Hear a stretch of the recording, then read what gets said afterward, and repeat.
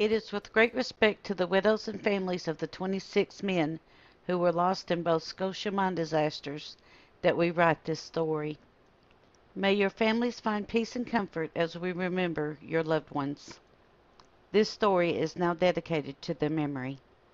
Long gone are the pickaxe, shovel, draft animals, and carbide lanterns that have always come to symbolize the coal miner. Automated mining equipment, modern battery powered lights, and other safety equipment have made the grueling work much safer. However, mine disasters do happen. Cave-ins and gas pocket explosions are the worst fear, while other accidents severely injure miners. One of the worst mine disasters in American history took place at the Scotia Mine in Letcher County, Kentucky. 26 miners and federal mine inspectors would lose their lives in a twin explosion that would forever change the way that mining operations would happen from that moment forward. Blue Diamond Coal had its main office in Knoxville, Tennessee.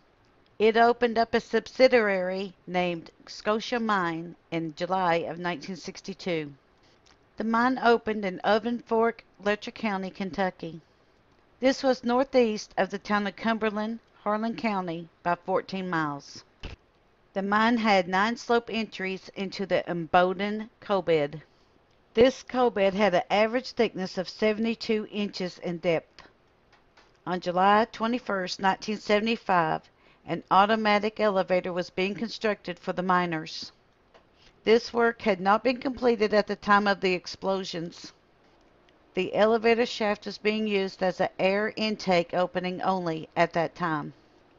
There were two mine inspections that were held in 1976. The first was a federal mine inspection, which was completed on February 27, 1976. On the evening shift of March 8, 1976, a federal coal mine inspector conducted a health and safety technical inspection. Just a few hours later, on the morning of March 9, 1976, at 7 a.m., the day shift of 106 men entered the mine and was transported by battery-powered portal buses and locomotives to go to work. At 11:45 a.m. that morning, an explosion from a pocket of methane gas and coal dust rocketed the Scotia mine, killing 15 miners. All 13 men who were working in the 2 southeast main area and the two men who were working in the left section off the 2 southeast main area died as a direct result of the explosion. 91 men that were working in other parts of the mine made their way to the surface of the mine without mishap. MESA investigators believe that this explosion happened because of a poor ventilation and an electrical spark from a battery-powered locomotive or other electrical device. The first explosion originated near the number 31 crosscut of the 2 southeast main area.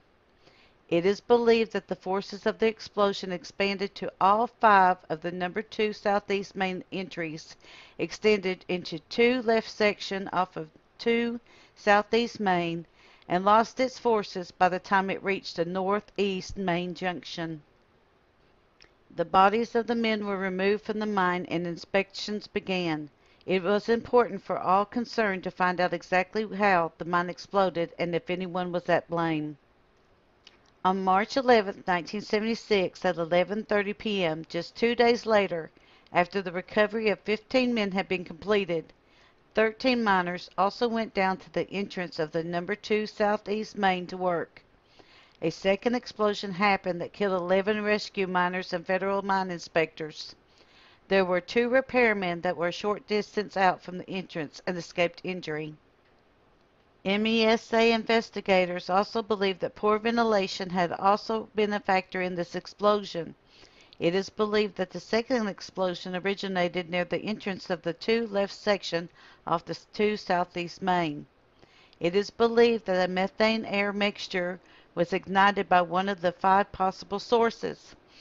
It was either a, an electrical arc or a spark from a battery equipped deluge system, scoop batteries, three battery-equipped telephones, residue fires, or a frictional spark from a fall of a mine roof on a roof bolting machine. The second explosion went through the two left section, all five of the two southeast main sections, and stopped near the two southeast main junction in the northern direction. The explosion had also stopped at the southeast main junction in the southern direction. After the second explosion, the mine was sealed to let the gases inside settle and stabilize. Rescue teams began on July 14, 1976, to reestablish ventilation in the mine, repair the entrances, and drain the water accumulating in the mine. Inch by inch, they made their way to the men that were victims to the second explosion.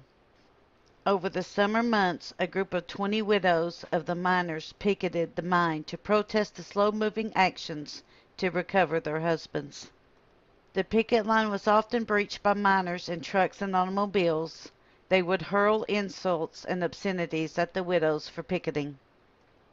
It is thought that behind the actions of some of these picket line breakers is that they felt that the mine should have never closed because it was hurting their incomes. Re-entry was permitted on November the 19th, 1976, 253 days after the Scotia mine disaster. The 11 men were finally brought to the surface. There were heated words spoken and many tears from the families as the men were laid upon the three mine rail cars in zippered plastic bags. The bodies were taken to pathologists to determine the cause of the deaths. Six widows had their husbands autopsied. This was to determine if they had black lung disease.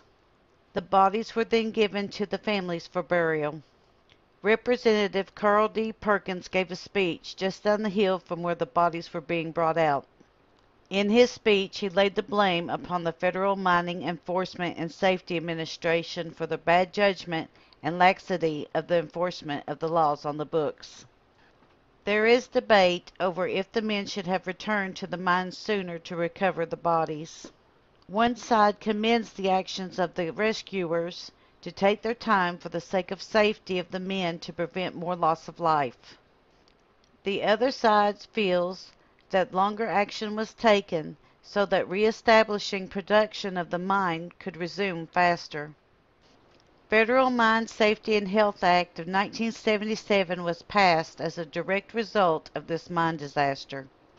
The Act of 1969 was strengthened in its new act. The Mine Safety and Health Administration was moved from the Department of the Interior to the Department of Labor. Shortly after the twin mining disasters, civil and criminal cases began to be fought over in the court system. Both civil and criminal charges began in 1977 with the widows suing because of the deaths of their husbands. In 1977, the widows of the men who were killed in both mining disasters sued Blue Diamond Coal Company of Knoxville, Tennessee.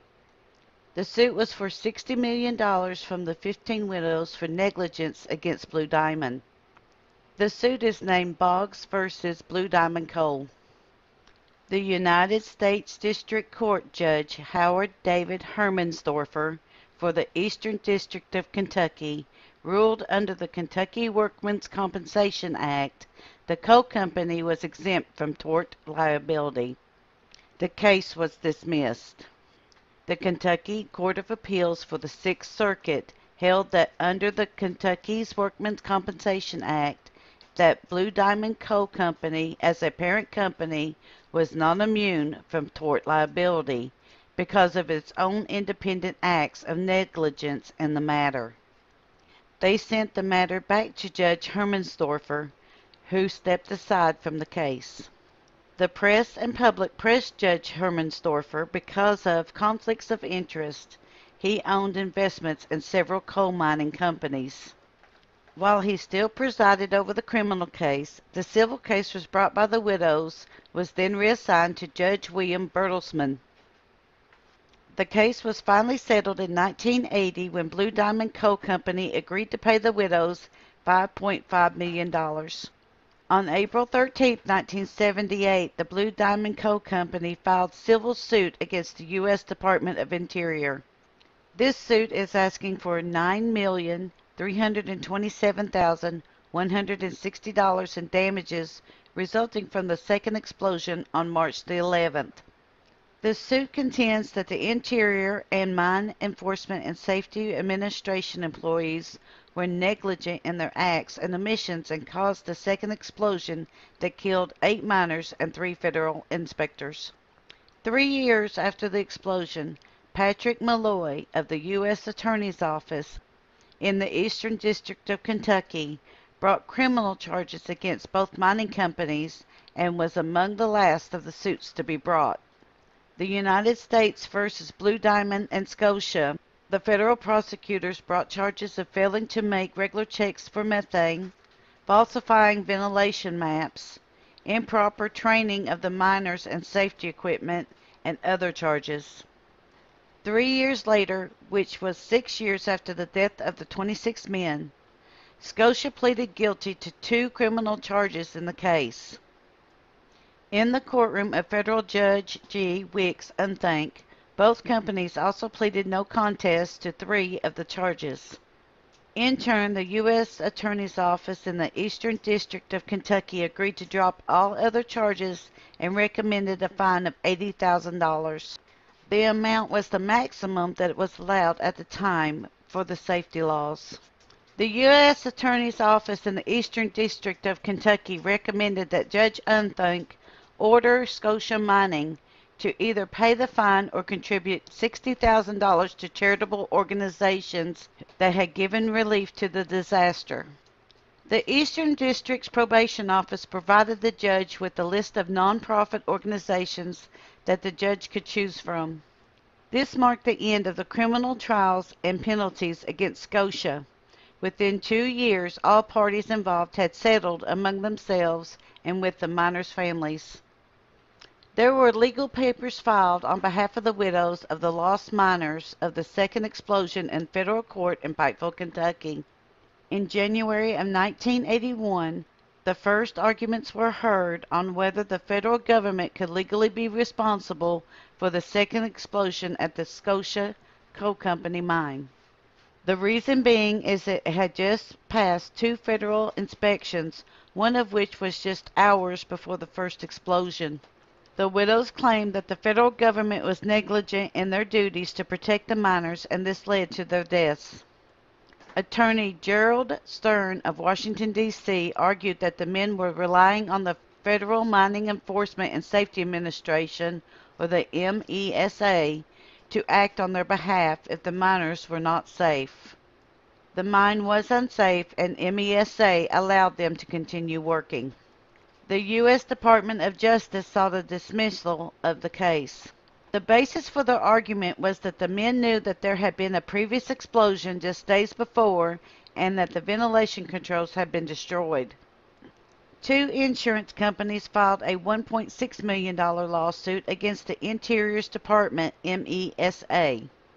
The two insurance companies held coverage plans on Scotia Mine at the time of the two explosions.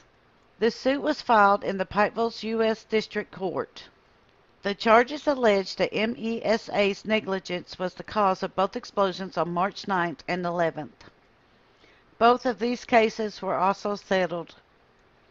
In memory of those who have lost their lives, Glenn Barker, Dennis Boggs, Everett Scott Combs, Virgil Coots, Don Creech, Larry David McKnight, Earl Galloway, David Gibbs, Robert Griffith, John Hackworth, J. B. Holbrook, Kenneth B. Kiser, Roy McKnight, Lawrence Peavy, Carl Polly, Richard M. Sammons, Tommy Ray Scott, Ivan Gail Sparkman, James Sturgill, Jimmy W. Sturgill, Monroe Sturgill, Kenneth Turner, Willie D. Turner, Grover Tussey, Denver Widner, and James Williams.